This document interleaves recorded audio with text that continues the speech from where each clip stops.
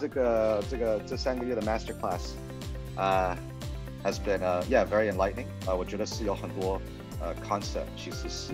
以前没有意识到的，but 呃、it's very very important。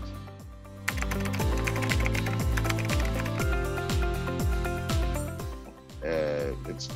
it's critical concepts um that 这个让我们会比较有机会来 survive，然后 win in 这个 new day and age 啊、in this new new speed，还有这个呃 technological advancement 的这个 environment。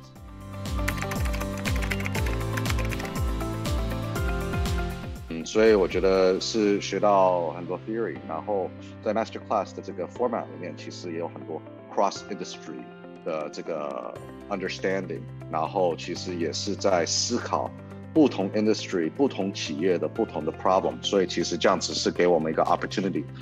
来加倍的去 kind of think outside the box，因为我觉得很多呃兄弟姐妹分享的信息是可以呃回来再 apply 到我们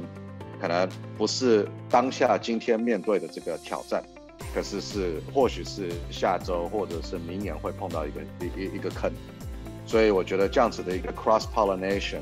across 不同的 industry、不同的企业还有不同的企业家在思考不同的问题的话，其实是非常有帮助的。对，所以这个是我这三个月最大的收获。谢谢。